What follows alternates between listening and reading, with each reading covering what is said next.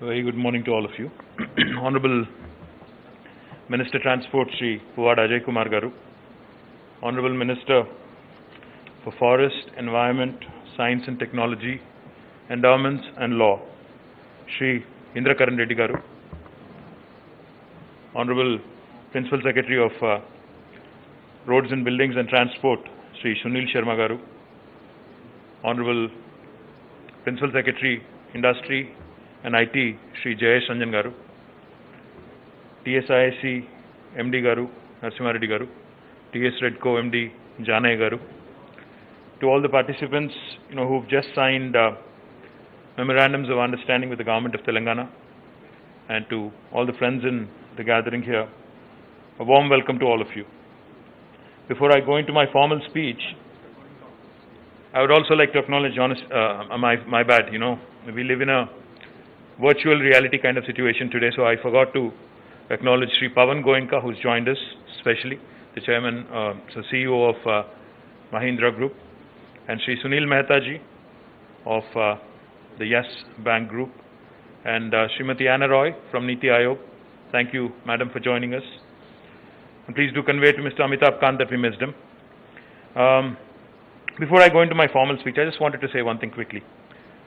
You know, I was talking to a friend of mine, you know, after seeing uh, what's been happening around the world, you know, during this pandemic, how nature was healing itself, and I was getting all these videos on social media, how nature really is healing, and how the world is uh, so much of so much of a better place, you know, without humans kind of killing whatever we've been doing, kind of doing, inflicting all the damage we've done. One of the things a very learned and a very you know, knowledgeable friend of mine said. I said, what is the solution going forward as from a government perspective? What do we do to make sure that, uh, you know, we help our environment, we pass on a better planet to our children? What do we do? He said something very, very interesting. He said, follow the 3D mantra. I said, what is that? And he said, first thing, focus on decarbonization. Second, focus even more on digitization and thirdly, focus also on decentralization. Now, I don't need to explain to any of you in this room decarbonization or digitization. I think you all know it rather well. Now, what did he mean by decentralization? I think what he meant was, see, I also wear the other hat of uh, Minister for Urban Development and Municipal Administration.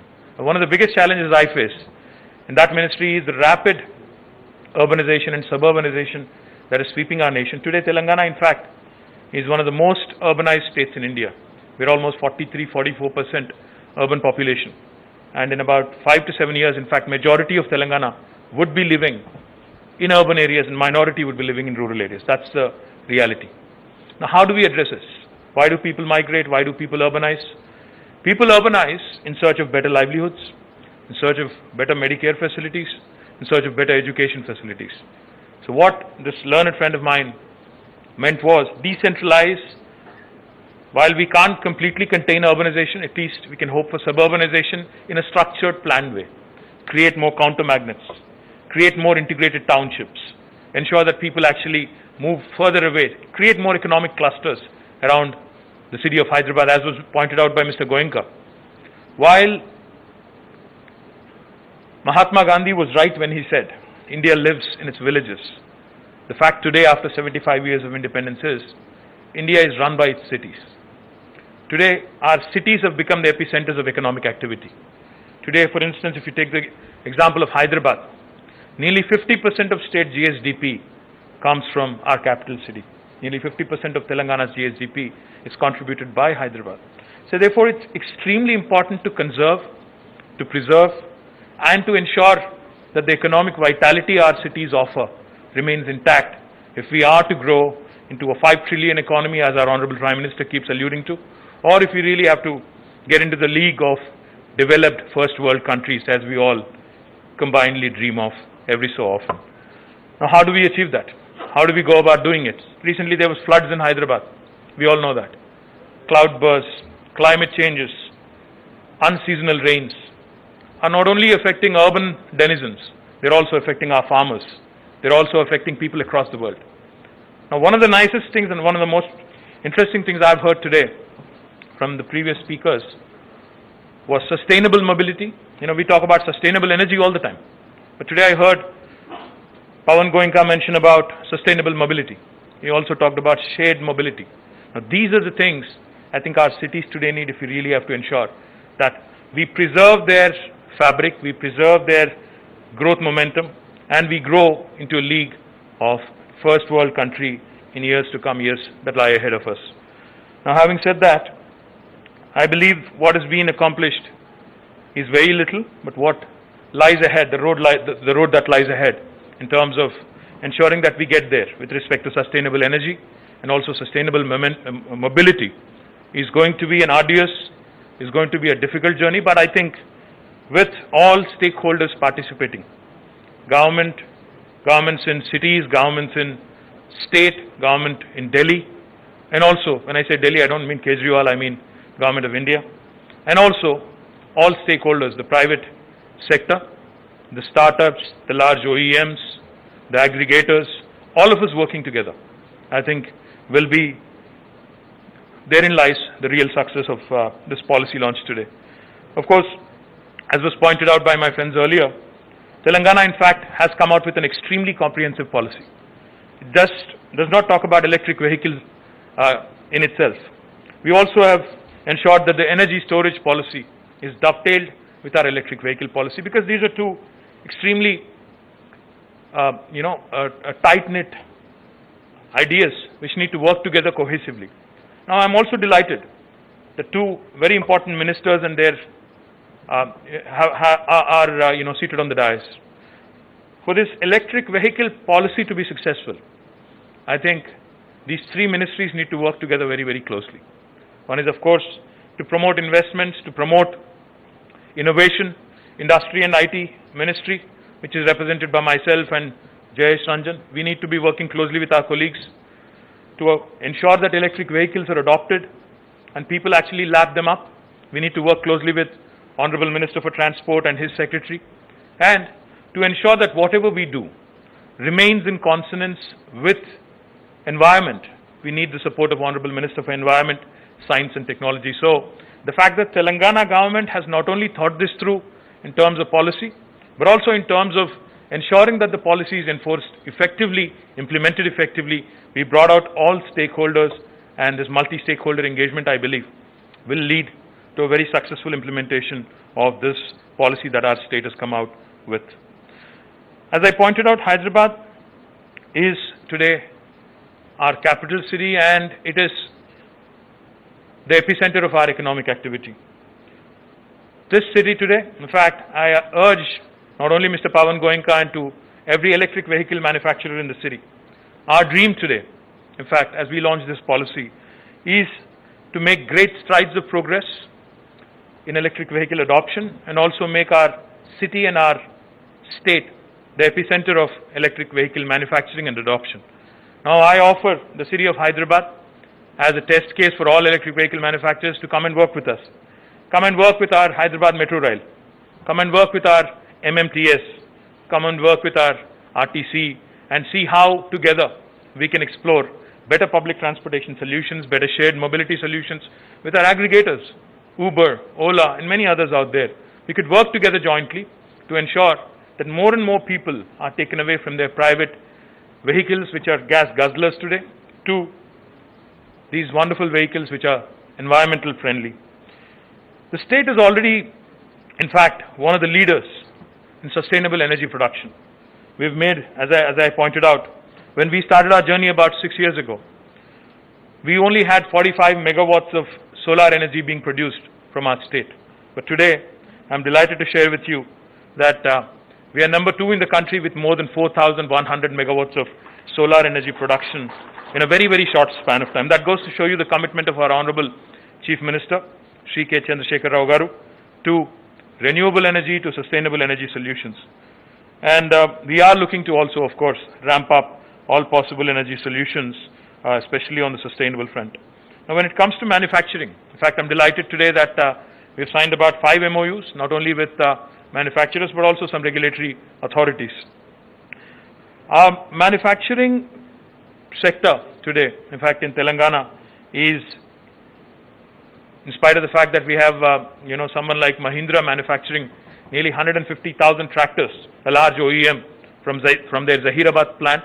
And I'm delighted, Pawanji, thank you very much if you're listening in, on making the announcement that uh, you're going to bring in the electric tractor with all Japanese technology and it would be manufactured out of Zahirabad. It's a matter of pride that, uh, you know, the largest, um, you know, tractor manufacturing facility in Asia today, which is based in Zahirabad, will also start manufacturing electric tractors. I'm sure the farmers in our country would look forward and will surely lap up the advancements that you guys are making in electric tractors as well. Our policy is comprehensive and therefore today I'm delighted we have Olectra, Mytrah, GAIM and you know um, other M ETUs and um, you know others who have signed, a, signed ETRIO, I'm sorry, uh, have signed MOUs with us. Our policy does not limit itself though to electric vehicle manufacturers only. Our incentives, our policy incentives will also be extended to charging station, uh, you know, uh, uh, charging stations and also battery manufacturers. And I'm delighted that uh, we are receiving several players and several uh, proposals with intent to set up charging stations and also storage solutions. Now, I also wanted to quickly point out two things. Like I said, a cohesive approach between departments, between the various facets of my ministry, that is the industry and commerce, also need to be in place if we have to make a EV policy a truly successful policy. So therefore, let me share with you that uh, in our state today we have the largest electronics manufacturing cluster. If you look at them in a, in a combined uh, way, we have more than 1,000 acres of land available at our disposal. One is E-City in Raviryal and another one in Maheshwaram. Between the two of them, we have 1,000 acres of land at our disposal for electronics manufacturers. Likewise, we also have a huge NIMZ, the National Investment Manufacturing Zone based out of Zahirabad, where I already mentioned that Mahindra's, one of the largest OEMs of our country, has a significant plant. We would like to promote it as an automobile cluster and ensure that more than 1,000 acres again are allotted for any automaker who would want to come into our state and work with us so as to ensure a complete comprehensive ecosystem of OEM, supply chain can coexist together in one single location. And also, I'm happy to announce two clusters, two industrial clusters. One in the Chandanvalli Sitarampur cluster in Shabad in Rangareddy district, which is already attracting significant investment and which is uh, where I think uh, both Olectra and Mytrah are setting up their plants, will shape up into a EV cluster. And also another very important cluster in Divitipalli in Mehboob will also be developed as another new energy park, new energy and new, uh, you know, um, EV cluster. Likewise, we also plan, in fact, to develop a mobility cluster, which I will be announcing soon, Uh, possibly sometime next month. We have, again, a number of very interesting technology players and also auto manufacturers who are coming together for the first time in creating this mobility cluster. So this approach of having an automobile cluster, an electronics cluster, an EV cluster, and also a mobility cluster, I think would provide that comprehensive ground for anybody who's interested in electric vehicle space to make Telangana their hub and look nowhere else, no further, uh, you know, for their enterprise and entrepreneurial ideas when it comes to setting up base in India. We will continue, like I said, you know, through TSI Pass and other very progressive initiatives under the dynamic leadership of our Honorable Chief Minister to continue to attract manufacturing and also continue to focus on expanding our research ecosystem through a collaborative effort with the private sector and also the wonderful academic institutions we have. Let me also remind you that Hyderabad, in fact, has a significant base of electronics companies in the form of ECIL, and I'm not talking now, I'm talking legacy. ECIL, BEL, in fact, uh, HAL, and all of these companies, all of these large public sector undertakings, uh, you know, which have, uh, which are, uh, you know, having a significant presence in Hyderabad, have shaped up the ecosystem. And there is a large, small and medium entrepreneurial ecosystem that already exists, which will again propel our drive and our ambition to be the leading EV and leading electrified state in the country, as a leader, in fact. And let me just give you some uh, broad statistics.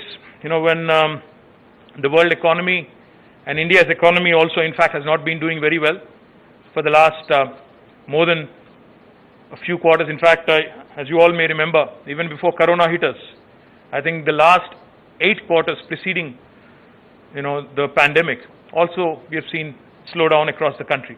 But fortunately for us in Telangana, our annual GSDP growth rate has been consistent.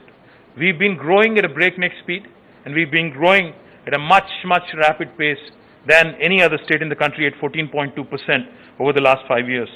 We are consistently ranked as among the top three states in the country on the ease of doing business rankings. We have slipped a slot this year, but we'll bounce back, I'm sure. And our TS iPass, which is a landmark single window clearance system, has been instrumental in bringing more than $28 billion of investment in the last five years. Telangana continues to remain number two as a city uh, and state in IT software exports, but our growth rate has been substantially higher than the national growth rate. In fact, while the country has been growing at about 8%, we've been growing at about 18%, which goes to show you that our growth momentum has not slipped. We've also recently added many EV related technology firms such as ZF Automotive and Electronics, ZF Automotive, and electronics firms such as Oppo, Vivo, Skyworth, Intel, Micron, all of them today are having significant presence in our city. Our innovation ecosystem is second to none with important uh, players in important institutions such as RICH, the Research and Innovation Circle of Hyderabad, TASK, the Telangana Academy for Skill and Knowledge, soon to be coming up T-Works, and of course T-Hub, which is widely known. We intend to leverage our strength, strengths in electronics, aerospace and defense, and information technology sectors, creating synergies, thereby developing as a center for research and innovation for all electric vehicles, battery technologies, and other emerging technologies such as autonomous and connected vehicles. We have taken a pragmatic approach in drafting this policy. We've consulted the industry.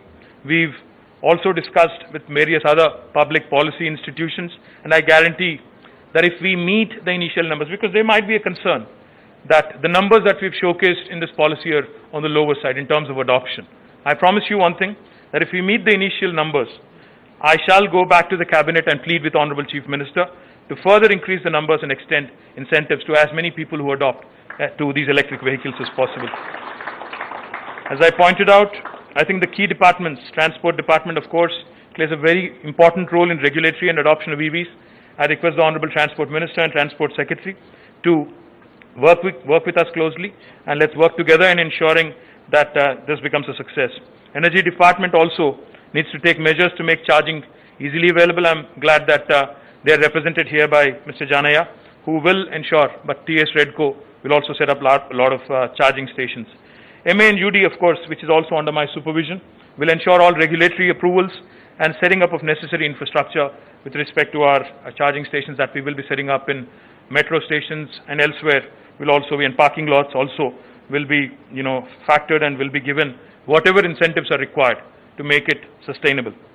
We're also, as I pointed out, planning to establish public charging stations at airports, railway stations, metro stations, parking lots, bus depots, markets, fuel stations, malls, etc. And I request all charging station players to come forward and work with us. And we can work with, we're not exclusive to anyone. We will be open. We will work with, uh, you know, all the leading players in the industry in a very transparent fashion. And we look forward to working closely with you. We're already establishing 178 charging stations in Telangana. And the state already, as was pointed out by Honorable Transport Minister, has a fleet of buses plying through TSRTC. We're currently engaging with ARAI, with whom we've just signed an MOU, to collectively work towards promoting research and development for manufacturing of electric vehicle and energy storage systems. Because looking forward, as was pointed out by Anna Roy, India needs to find its own solutions. We cannot be aping the West. We cannot be aping any other country with respect to EVs because our situation is very different. Our, you know, our, our, our people are very different. Our approach to our roads, our approach to our urban planning, our approach to adoption of technology is very different when, when compared to other countries and other, other, other parts of the world. We believe that the EV adoption would increase more and more since the policy just rolled out today, as was pointed out again by my previous speakers. While Government of India may have launched out their idea, their, um, you know, their efforts three years ago, I think it's very, very important for the states to join this to actually, you know, uh, gain momentum. And with Telangana now, um, you know, coming out with a, its own policy, I believe the adoption would improve and increase at a rapid pace. So we invite the industry in India and abroad to come forward, make Hyderabad as their base for manufacturing operations, as we believe local manufacturing is the key to achieve the price performance parity and enable faster adoption of electric vehicles. Once again, I thank all the stakeholders who have participated in policy making, who have come forward to invest in the state of Telangana, and I look forward to interacting with you more often and more closely to ensure that Telangana truly becomes the hub for electric vehicles in India. Thank you very much.